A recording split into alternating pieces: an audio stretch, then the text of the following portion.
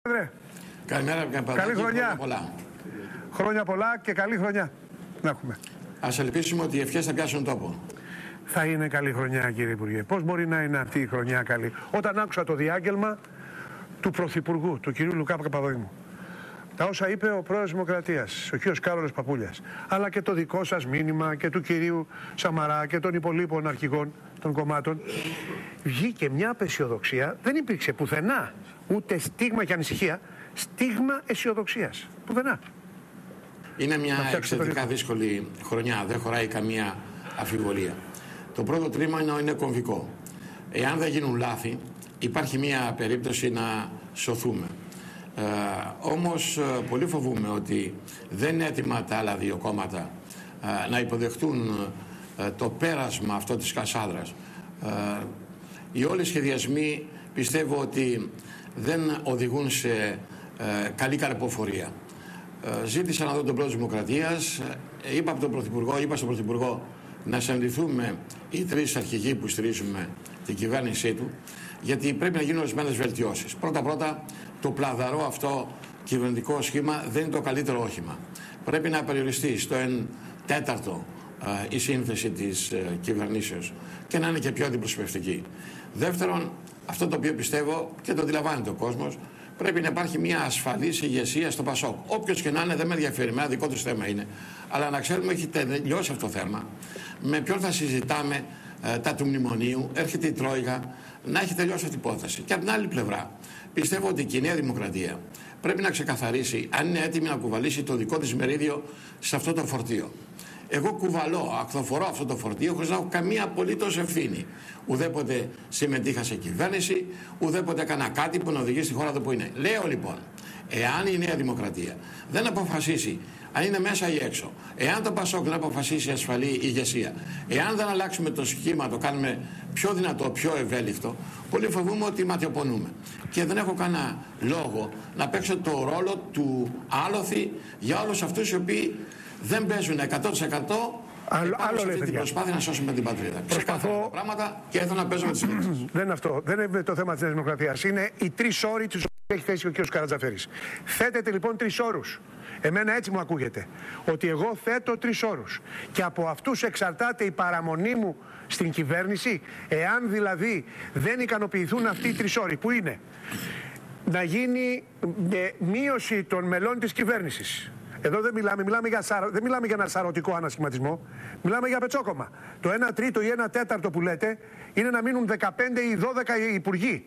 Το δεύτερο που λέτε είναι τελειώνετε τις διαδικασίες, βγάλτε πρόεδρο στο Πασόκ. Και το τρίτο είναι ξεκαθάρισε Νέα Δημοκρατία εάν είσαι μέσα ή έξω, αν κάνεις συμπολίτευση ή αντιπολίτευση. Εάν δεν ικανοποιηθούν αυτοί οι όροι. Δεν είναι όροι, είναι παράμετροι και είναι τέσσερις. Είναι και το θέμα της ημερομηνίας των εκλογών.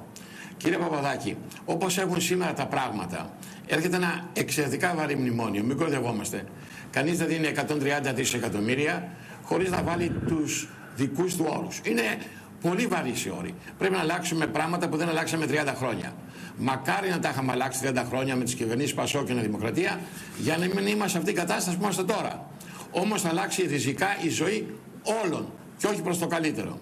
Λέω λοιπόν να ληφθούν αυτά τα μέτρα εφόσον απαραίτητα πάρουμε τα 130 δις άνευ των οποίων πτωχεύουμε και οδηγούμε θέση τραγμή στις 10 Μαρτίου και στις 11 να διαλύσουμε τη Βουλή για να πάμε σε εκλογές. Αυτό είναι τρελό.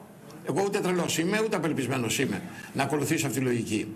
Θα πρέπει λοιπόν να πάρουμε αυτά τα μέτρα, να πάρουμε τα λεφτά, να αρχίσουν οι διαστοτικέ αλλαγές σε βάθος και να περιμένουμε την καρποφορία αυτών των μέτρων, να ανθίσει πρώτα το χαμόγελο, στα χείλη των Ελλήνων που έχει κοπεί από το 2008 και μετά να πάμε σε εκλογές. Άρα και αυτό είναι σοβαρό. Και αυτό που λέτε είναι σοβαρό. που θα ψηφίσει το μνημόνιο δεν νομίζω είναι σωστή λογική. Άρα και αυτό που λέτε το τέταρτο και καλά κάνετε και με διορθώσατε είναι πολύ σοβαρό γιατί λέτε αυτή η κυβέρνηση θα πάρει τα μέτρα.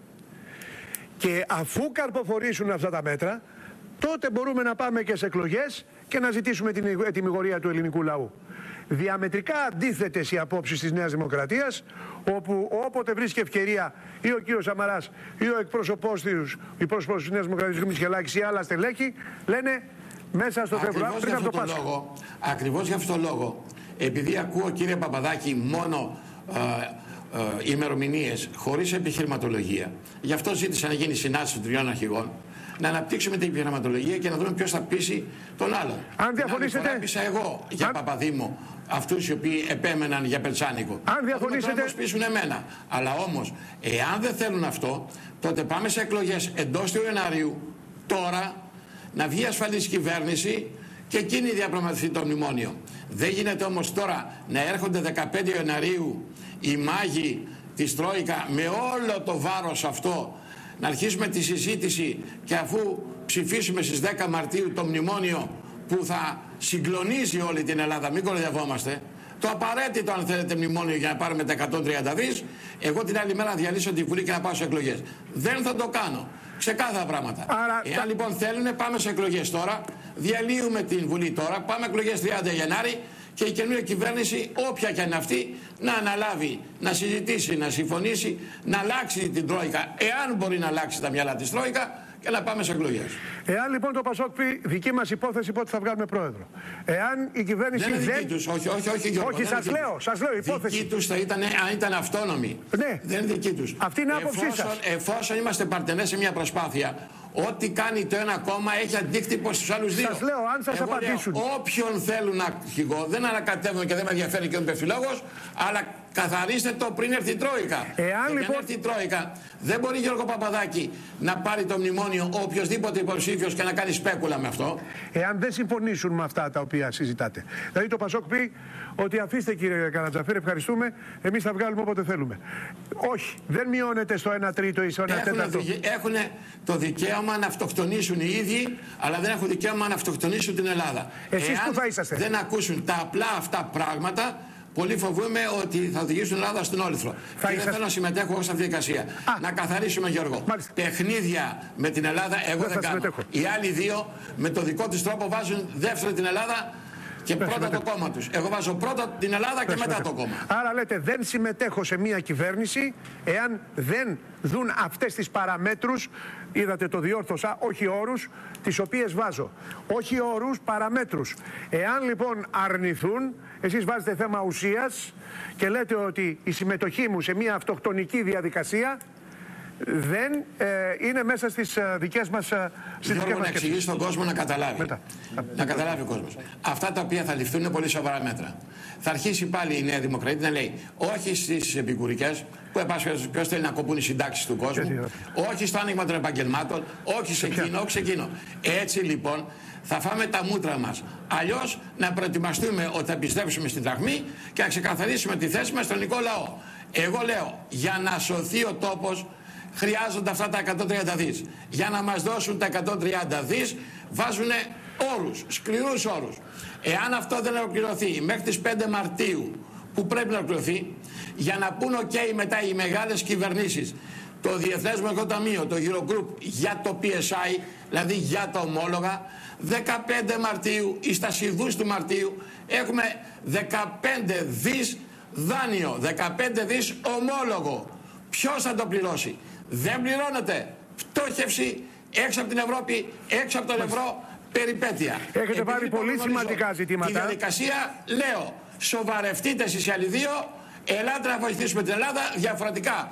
Βγαίνω από την κυβέρνηση και συνεχίζω να στηρίζω τον Παπαδήμο ως πρόσωπο. Το ξεκαθαρίζω. Αυτή είναι η θέση μου. Άρα λοιπόν, αν δεν γίνουν δεκτές αυτές οι παράμετροι τις οποίες έχετε θέσει, εγώ εξακολουθώ να στηρίζω Παπαδήμου ως Πρωθυπουργό, αλλά δεν συμμετέχω, αποσύρω τα στελέχη μου από την κυβέρνηση. Αυτό δεν είπατε. Και μάλιστα ποια στελέχη; Αυτά τα οποία είναι τα πλέον αποδοτικά, όπως ομολογείται από όλους. Ε, μια... Από όλους ομολογείται ότι αυτοί που βγάζουν δουλειά είναι υπουργοί του λαού. Έχω την εντύπωση λοιπόν, ότι. Έχω... Ελάτε να μιλήσουμε. Το ζήτησα από το θεσμικά και όπως επιβάλλεται από τον Πρωθυπουργό. Λέω πριν τα θεοφάνεια να μιλήσουμε. Πολύ φοβούμαι ότι δεν θα γίνει. Ζήτησα από τον πρόεδρο Δημοκρατίας εχθές κατά συνάντηση να τον δω. Το είπε βέβαια και ο ίδιος. Δικαίωμά του είναι εξάλλου. Ε, να μιλήσουμε γιατί πολύ φοβούμαι ότι οδηγούμεθα σε τείχο. Οδηγούμεθα, επαναλαμβάνω, σε τείχο. Αν δεν γίνει η Ευρώπη, σύσκεψη. Γιώργο Παπαδάκη, η Ευρώπη, να ακουστούν κάποιες αλήθειες. Έχει μετανιώσει για τα 130 δις και ψάχνει να βρει άλοθη να μην μας τα δώσει. Φτερνιστήκατε, δεν υπογράψατε με ροέ στυλό, δεν σας τα δίνω. Εγώ λοιπόν δεν θα δώσω άλοθη στην κυρία Μέρκελ να με στείλει στον κρεμό. Αυτή είναι η πραγματικότητα. Α το καταλάβει και ο ένας κι άλλος. Κύριε... Διαφορά δεν έχουμε καμία. Όλοι θέλουμε το καλύτερο. Μόνο που εγώ θέλω το καλύτερο για την Ελλάδα και όχι για το κόμμα μου. Κύριε, Κύριε Πρόεδρε, Πρωθυπουργέ, σας είπα τώρα. Γλώσσα λανθάνουσα. το περίμενα να το πείτε. Ξεκαθαρίσατε, κύριε Πρόεδρε, να επαναλάβω για αυτός που μόλις άκουγαν τώρα το δέκτη ότι ζητάτε να μειωθεί ο αριθμός των μελών της κυβέρνησης έτσι ώστε να είναι ευέλικτη και να μπορεί να αποδώσει. Στα πρότυπα προφανώς και της Ιταλίας. Με πολύ μεγαλύτερο πληθυσμό έχουν 12 και εμείς 48.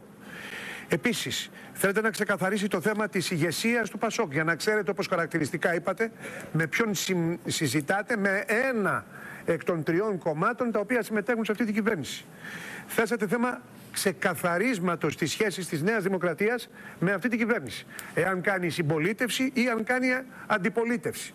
Και τέλος, μιλήσατε για τον χρόνο διεξαγωγής των εκλογών αλλά και το περιεχόμενο αυτής της κυβέρνησης και τα θέματα τα οποία έχει αντιμετωπίσει.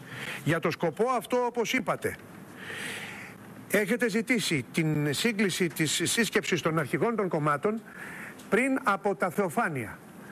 Εάν δεν γίνουν όλα αυτά, είπατε ότι εσείς δεν θα συμμετέχετε σε μια κυβέρνηση η οποία έχει αυτοκτονικές διαθέσεις και θα είσαστε εκτός κυβερνήσεως υποστήριξης αυτού του κυβερνητικού σχήματος αλλά με εμπιστοσύνη στο πρόσωπο του Πρωθυπουργού, του κυρίου Παπαδήμου.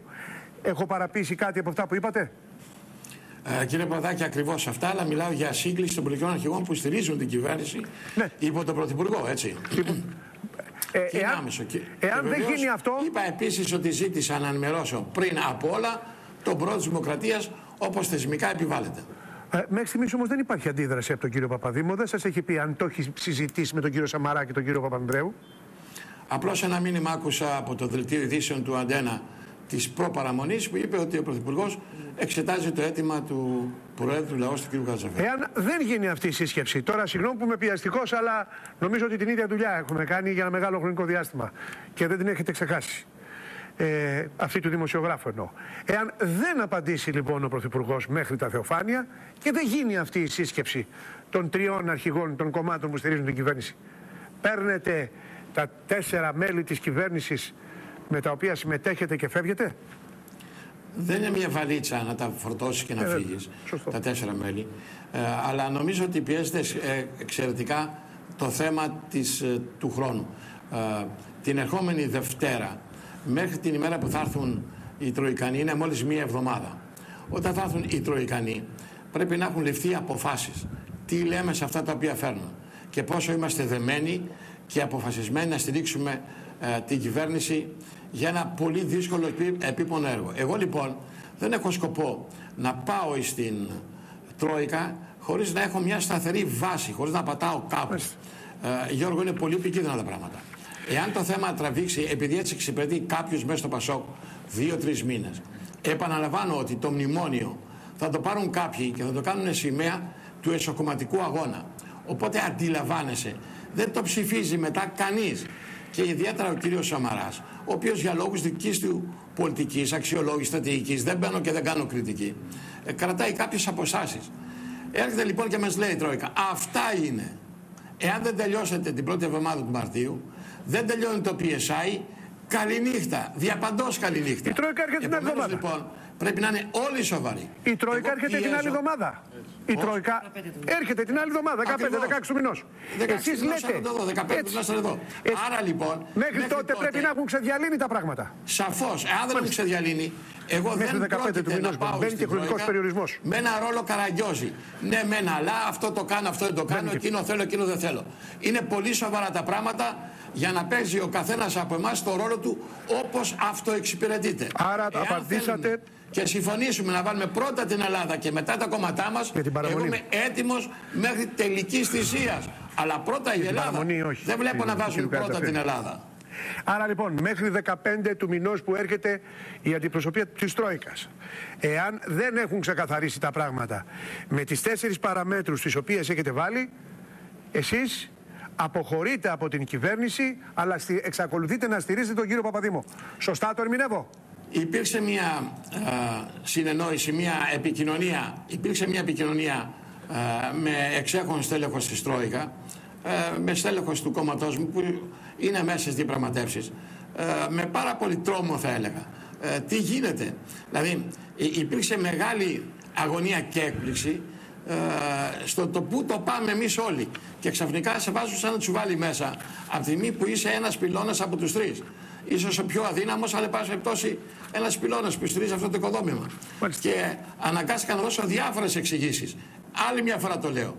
Πρέπει να είμαστε γροθιά και οι τρεις. Ας το καταλάβουμε. Θα λειτουργούμε σαν ένας για την Ελλάδα. Μπορεί να μην είναι ιδανική η συμβίωση, αλλά όπως γίνεται ενίοτε και σε κάποια ζευγάρια, λόγω των παιδιών κάποιοι πρέπει να κάνουν υποχωρήσεις. Και σήμερα παιδί μας είναι η Ελλάδα. Α το καταλάβουμε. Δεν μπορούμε να κάνουμε παιχνίδια. Εάν σκεφτόμουν και εγώ τον εκλογικό χάρτη, τότε θα έπαιζα τα δικά μου παιχνίδια. Εγώ σκέφτομαι πρώτα την Ελλάδα και μετά τις εκλογές. Μου δίνετε ευκαιρία. Υπάρχει μια διαφορά αντίληψης ή μια διαφορετική, διαφορετική θεώρηση. Μου Πιστεύω, δίνετε... Γιώργο, ότι κάτι πρέπει να γίνει.